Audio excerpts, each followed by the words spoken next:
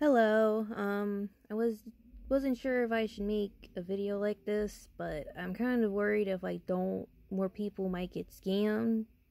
So, um, so for context, I have a DeviantArt account. You can message people here. I actually got two messages like this, which I don't know if I should find that funny or not.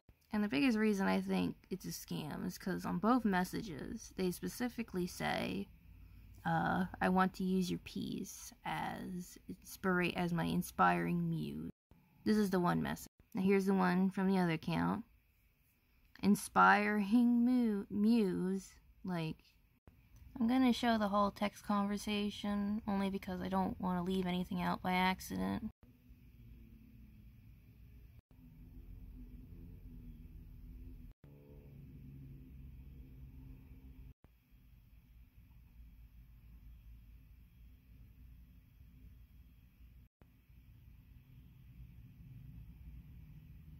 He's gonna say allege just to cover my ass, but I, I like 90% sure think this is a scam, especially considering the ending messages. Like, you go from professional to acting like an ex-boyfriend.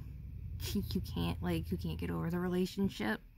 I was gonna show you um, their account, but I, I wasn't thinking, and I actually already blocked them mainly because I really didn't want to get any more messages like this.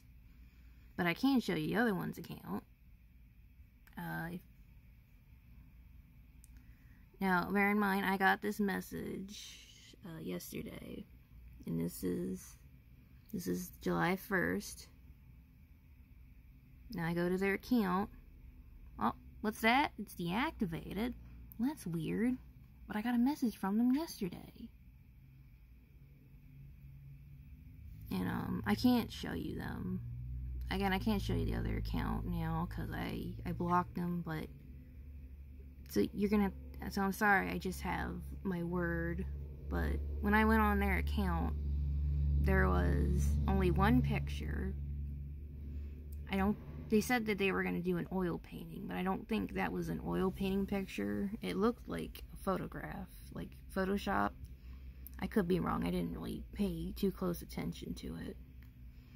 But, um, the other, but the other thing I noticed is that it's a deviation for eight hours. The reason I, I bring up deviant for eight hours is because on your profile, it will tell you how long you've been on DeviantArt. Here, it says I've been a DeviantArt for at least four years, which is another reason why I think it's a fucking scam. Because you only have one artwork, and you've only been active for eight fucking hours. I'm sorry if I'm weirdly stuttering.